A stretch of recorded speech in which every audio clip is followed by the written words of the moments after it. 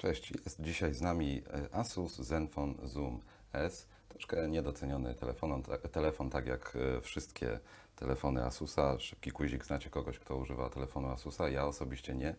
A to dziwne i szkoda, bo te telefony są naprawdę e, całkiem fajne. I Zenfone Zoom S też jest bardzo sympatycznym i fajnym telefonem. Pytanie dla kogo?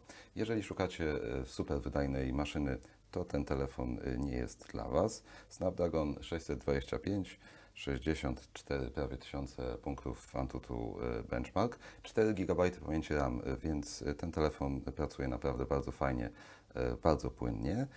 Pogracie w niego, pogracie tak samo w gry bez żadnego większego problemu, no ale wiadomo, że nie jest to prędkość działania na poziomie flagowym. Za to za to, jeżeli jesteście skupieni na fotografii, jeżeli zależy Wam na bardzo dobrym ekranie i jeżeli zależy Wam na długim czasie działania na baterii, to to jest telefon, którym spokojnie możecie się zainteresować.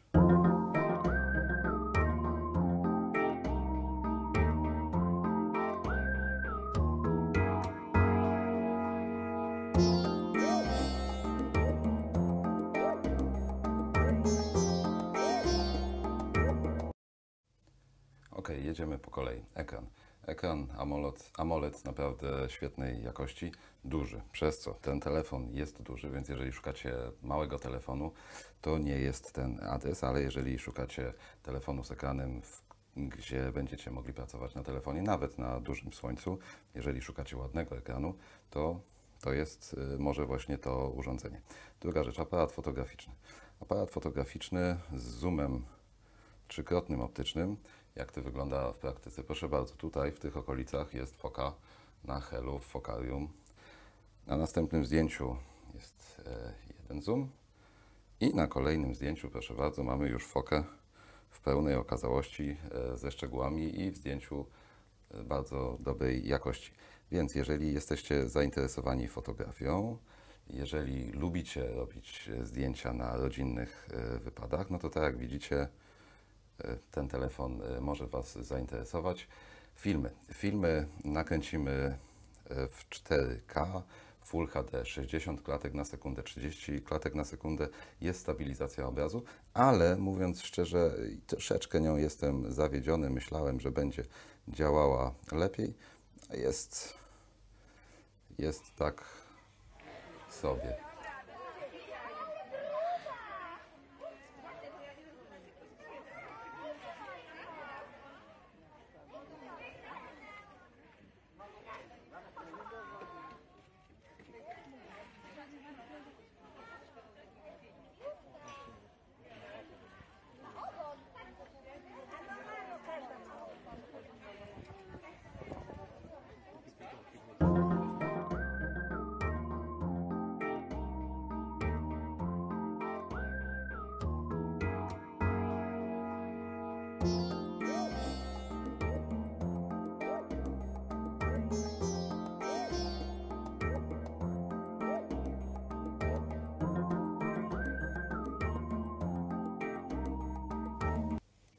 Kolejna rzecz, o której warto wspomnieć, która jest wielką, wielką, naprawdę wielką zaletą tego telefonu. Bateria, zobaczcie, telefon jest płaski, wcale nie jest gruby, a producentowi udało się wepchnąć tutaj w ten e, metalowy korpus 5000 e, mAh baterii, w związku z czym naprawdę można się odzwyczaić od ładowarki. Ten telefon pracuje 2 dni, 3 dni, wszystko zależy od tego, co robicie, no ale pod tym względem jest rewelacyjny. Przy okazji, jak jest zbudowany? Jest zbudowany bardzo solidnie, bardzo fajnie, jest czytnik linii papilarnych szybciutki. Telefon wybudzicie i uśpicie, jak widzicie, e, dwuklikiem, więc to też jest bardzo e, wygodne rozwiązanie. USB typu C, no i klawisze, to co wiele osób ma do E, Asusa zarzuty. Klawisze tutaj na dole są pod ekranem, ale nie są podświetlone. One są w takim fajnym srebrnym kolorze.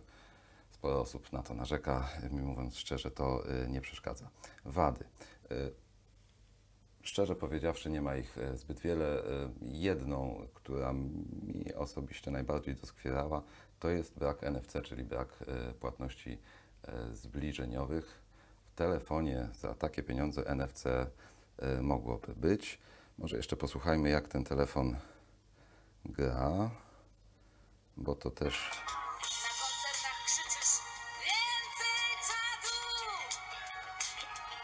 czytając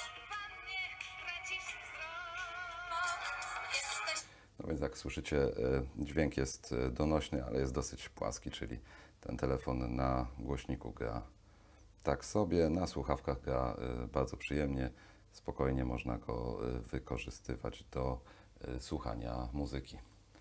I na koniec rzecz ważna, o ile nie najważniejsza, cena. 1900 zł z tego co pamiętam, albo 1999 zł, czyli cena taka jak mi szóstki w sklepach. E, No i tak, działanie jest e, bardzo fajne, ale nie jest to działanie flagowe.